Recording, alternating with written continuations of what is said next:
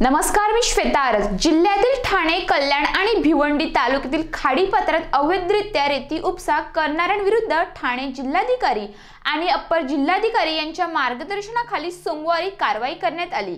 या कारवाईत बत्तीस संक्षण पंप पंचवीस ब्रांचसह बावन्न ठिकाणी रेतीसाठा करण्यासाठी उभारण्यात आलेले हौद उद्ध्वस्त करण्यात आले.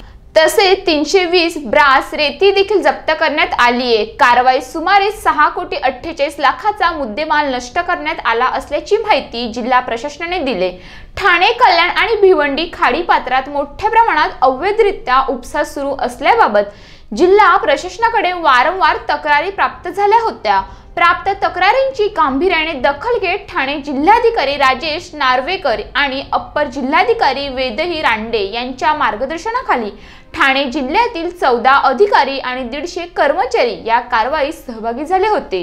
ठाणे तहसीलदार अधिक पाटील यांनी रेती बंदर आणि गणेश घाट परिसरात केलेल्या कारवाईत एकूण दोन कोटी ऐंशी लाखाचा मुद्देमाल नष्ट करण्यात आला.